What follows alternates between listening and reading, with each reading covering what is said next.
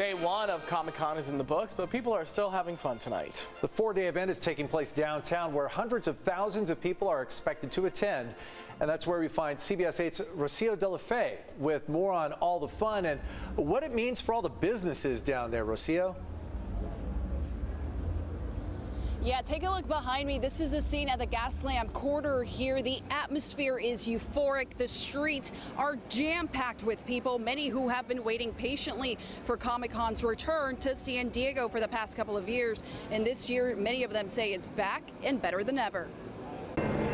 It's the return of Comic-Con to San Diego. The atmosphere is electric, you know, and uh, we're ready. We're, we're back in the mix, so we're happy. Joe Tirado and his family of villains made it into town for the event all the way from New Jersey. It's amazing. It, it shows that we're going back to normalcy, that everyone's back out here. We're celebrating.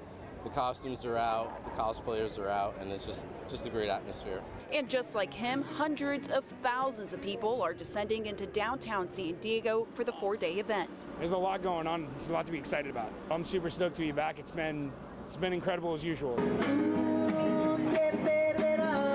Businesses throughout the Gaslamp Quarter are set to benefit tremendously from the large crowds. Allison McKay at Cafe Sevilla says staff have been preparing for this moment for months. We weren't expecting this many people, and we're actually really excited and really happy for it because it brings a lot of business to us, especially after the pandemic, and it just makes it even better to be around, you know, being downtown.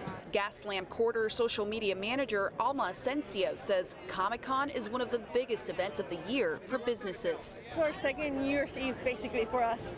Comic-Con brings a lot of business.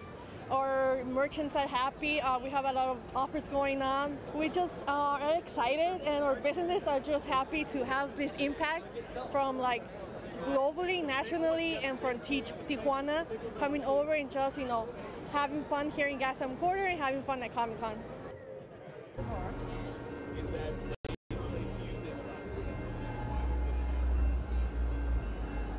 And again, the event does run until this Sunday. If you do plan on attending, keep in mind the amount of people here and the amount of traffic you can expect to find here that will make parking almost nearly impossible, really, to be honest with you. The best thing you can do is, of course, Uber, Lyft, catch a ride, and of course, there is public transportation. Sending it back to you guys. Good tips there. We'll Rocio de la Fe downtown in the Gaslamp where it's pretty lively tonight. Absolutely.